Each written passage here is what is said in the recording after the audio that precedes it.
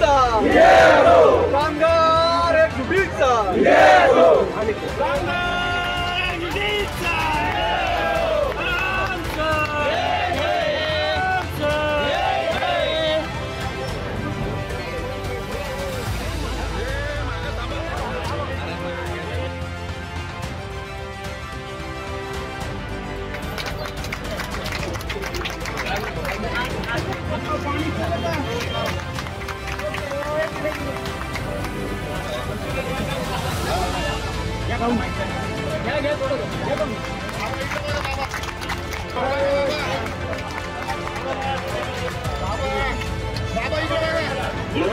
आमचा प्रत्येक कामगार बांधवापर्यंत असतो पण आपलं कर्तव्य असतं की एक एक एक एक प्रश्न आपल्याला कमी करत जायचं एक एक प्रश्न आपला कमी करत गेला गेल्या नऊ दिवसापासून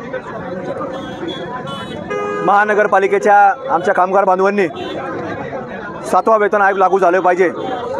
याच्याकरता बेमुदत उपोषण सुरू केलं होतं. त्याच्यामध्ये प्रामुख्यानं बाबासाहेबजी मुदगल असतील जितूभाऊ सारसार असतील राशीनकर जे असतील या तिघही मान्यवरांनी सर्व हजारो कामगारांच्या वतीनं तीन लोकांनी प्राथमिक स्वरूपामध्ये उपोषणाला या ठिकाणी बसलेले होते.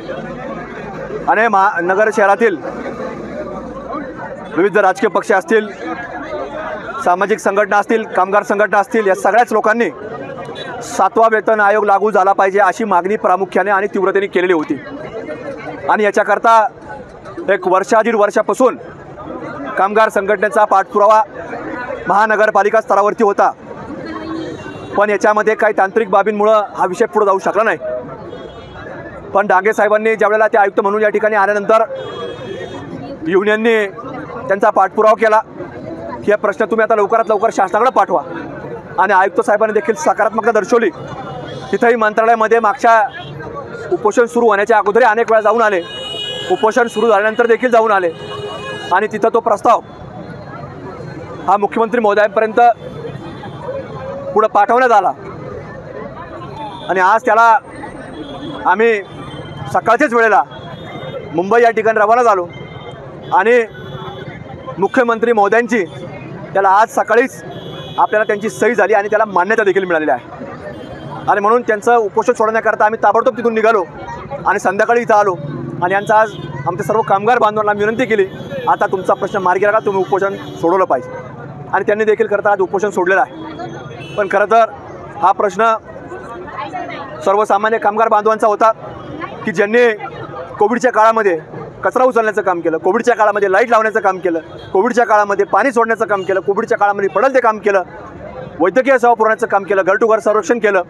त्याच्यानंतर जिथं परिसर क्वारंटाईन असेल तो परिसरामध्ये थांबणं ड्युट्या करणं फवारण्या करणं असे वेगळे वेगळे प्रश्न त्या सर्व कामगार बांधवांनी सोडण्याचं काम ते कोविडच्या काळामध्ये देखील केलं आहे. संकटकालीन परिस्थितीमध्ये देखील केलं आहे. आज देखील पाऊस आला तरी हे लोक रस्त्यावरती असतात. कुठलाही प्रश्न उपस्थित राहतात रस्त्यावरती असतात. पण यांच्याकरता हा प्रयत्न करणं हा सर्वांचं प्रथम कर्तव्य होतं.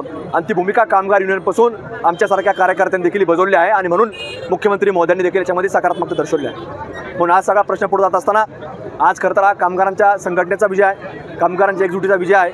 आणि हा प्रश्न सर्वसामान्य कामगारांचा आज मार्गी लागला त्यामुळे निश्चित प्रत्येकाने आनंद व्यक्त केला आहे. मी कामगार संघटनेचं मनपूर्वक हा प्रश्नाला मार्गी लावल्याबद्दल अभिनंदन करतो. गेल्या नऊ दिवसापासून आमरण उपोषणासाठी अहमदनगर महापालिकेच्या दारामध्ये बसलेलो होतो. आमची एकच मागणी होती की आमचं सातवा वेतन मंजूर करावे. आम्ही गेल्या दहा अकरा महिन्यापासून पंधरा महिन्यांच्या संपर्कात होतो. त्यांचंही पाठबळ आम्हाला मिळत होतं. त्यांनी जो आमचा लाँग मार्च थांबून आम्हाला जे माघारी आणलं त्याचा त्यांनी आज शब्द पूर्ण केलेला आहे व त्यांनी आज आमचा सातवं वेतन मंजूर झाल्याची आज इथे घोषणा केलेली आहे. त्यामुळे आज आम्ही त्यांच्या हस्ते इथलं आमरण उपोषण संपवलेलं आहे. मी भयांच्या बाबत जास्त बोलणार नाही पण मला एकच सांगायचं आहे भयांच्या बाबतीत. या नगर शहराच्या दृष्टीने सांगतो व माझे स्वतःचे अनुभव सांगतो तुमच्या सर्वांच्या चॅनलच्या माध्यमातून.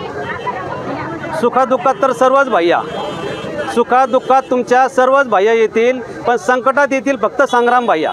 दुसरं कोणीही तुमच्या संकटाला धावून येणार नाही फक्त संग्राम भैया येतील. हा माझा स्वतःचा अनुभव आहे. महापालिका कामगार युनियनचा अनुभव आहे. महापालिका कामगारांचा अनुभव आहे.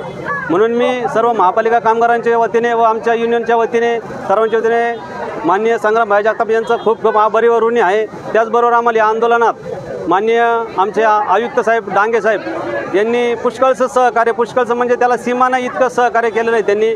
त्यांचाही मी आमच्या सर्वांच्या वतीने आभार मानतो व माझं आता जास्त बोलण्याचं मला दम लागू राहिलेला आहे. त्यामुळे मी जास्त बोलू शकत नाही. धन्यवाद.